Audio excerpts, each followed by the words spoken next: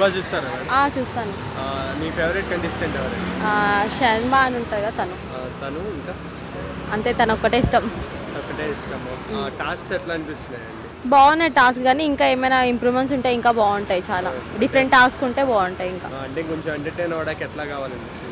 అంటే క్రేజీనెస్ దాని లోపల ఫైటింగ్స్ గీటింగ్స్ జరుగుతుంటాయి కదా అలాంటివి ఏమైనా క్రేజీనెస్ ఉంటే బాగుంటాయి. కేజీఎస్ అంటే బాగుంటుంది. బిగ్ బాస్లో మీన్ ఎప్పటి నుంచి ఫ్రీక్వెంట్ ఫాలో అవుతుంటారా మీరు? ఆ, అవును ఎస్ అండ్ నాగార్జున గారి హోస్టింగ్ ఎట్లా అనిపిస్తుంది మీకు? బాగుంది. నాగార్జున హోస్టింగ్ చాలా బాగుంది. ప్రీవియస్గా ఎన్టీఆర్ గారు చేశారు అండ్ నాని గారు చేశారు. సో వీళ్ళందరూ కానీ అంటే నాకు నాగార్జున అంటే ఇష్టం కాబట్టి నాకు నాగార్జున హోస్టింగే ఇష్టం ఉంటుంది. నేను వాళ్ళ గురించి చెప్పలేను.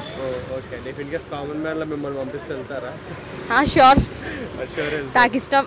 ఇష్టం Bigg Boss so one word about Bigg Boss అంటే ఏం చెప్తాను బిగ్ బాస్ అంటే ఒక ఎంజాయ్మెంట్ అక్కడికి వెళ్ళి నార్మల్ ఫైటింగ్ గిటింగ్ చేయడం అందరు కొత్త కొత్తగా ఉండడం ఫ్యామిలీ అంటే ఆ, ఇప్పుడు మీ ప్ర- టాస్క్లో ఎంజాయ్మెంట్ చేయడం టాస్క్ చేయడం అవంతా ఎంటర్టైన్మెంట్ అలాంటివి.